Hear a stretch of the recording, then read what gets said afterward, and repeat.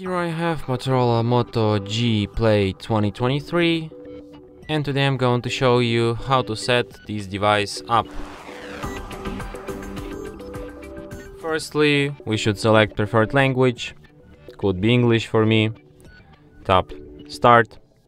Then you can connect to the mobile network by inserting SIM card, but if you don't have it on you can just skip this step for now and do this later.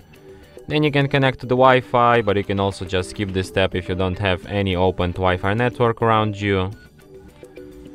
Then you have these like privacy and software updates. I think you can just disable these uh, switchers here. Tap accept and continue. Then you have to set up date and time.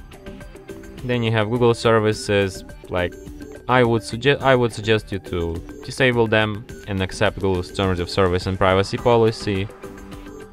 Then you can set up PIN, uh, or you can just skip this step and do this later in settings, or just don't set it up at all. Then tap not now, not now, not now, not now. Then you can select theme, you can select light or dark theme. I usually use dark, it's not only more uh, like healthy to your eyes, it also like helps your phone to drain battery less.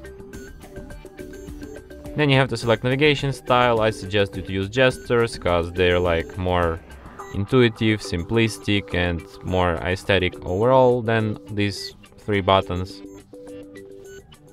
And device is all set up. Swipe to get started. And that's it. Thanks for watching.